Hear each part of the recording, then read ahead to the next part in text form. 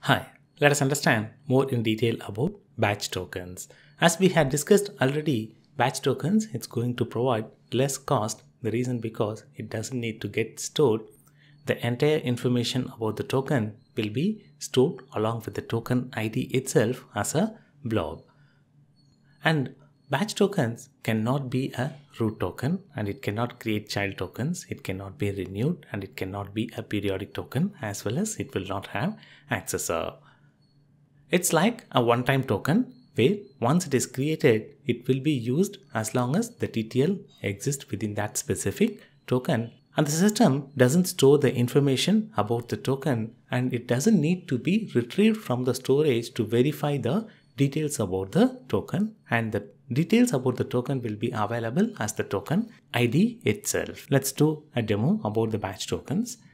I'm going to use the policy that already we had created and I'm going to use the flag dash type to mention the type of token I wanted to create is batch. So I'm going to create a token with the command vault token create and the policy that it should use and the type of token as batch. And the token ID will be a blob and all the information about the token will be hidden within it. So all I need to do is I need to use this particular token ID. So this is the entire token. I can use this to log in or I can pass this as the vault token argument and do a lookup. Let me do a lookup of this batch token, vault token and the token I have added over here and I'm giving the command vault token lookup. As we discussed, it's not going to have the accessor and it is renewable is false. Type of token is batch. If I wanted to log in, I can use the command vault login and then the token ID. Yes, I have logged into the system using this specific batch token.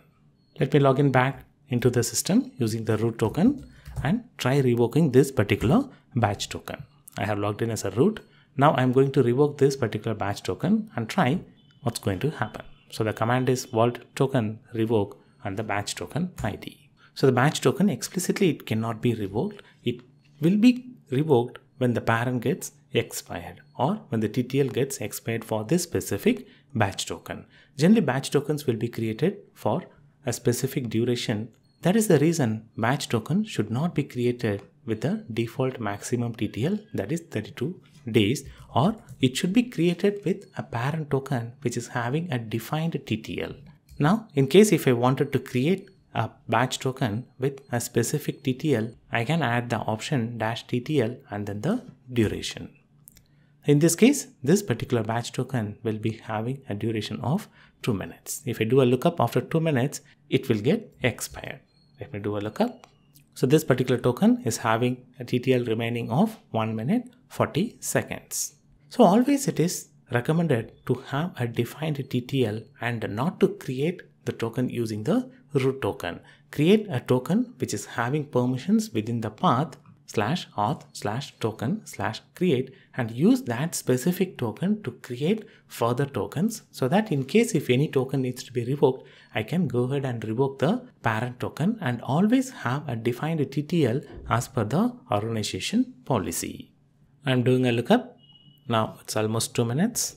Yes, the permission denied error I got. The reason because the token would have got expired after the defined TTL of two minutes. This is a quick summary on how to create a batch token and why it should not be created with the default TTL and uh, how to define the custom TTL for the batch token.